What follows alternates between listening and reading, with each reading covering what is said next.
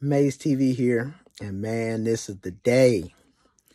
A quadruple drop. My boy Rahil came all the way from Columbus down to the G to get me these vinyls. And of course, uh, if you're on my Facebook page or YouTube channel, you've seen that I got the Benny the Butcher Plugs 1. But I'm going to show you what we're working with right here.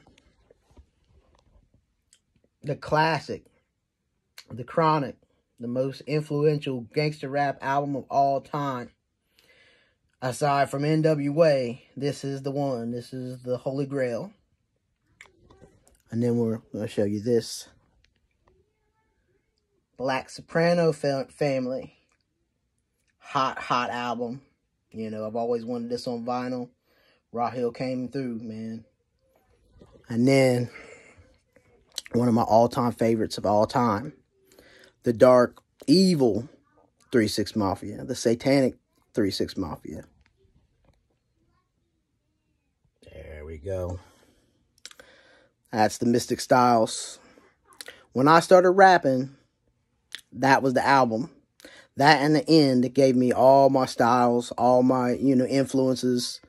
Lord Infamous, Lord Infamous the Scarecrow and Koopsta. They was the ones. They were my idols. They were the ones I looked up to. All right, and I'll catch you on the next one.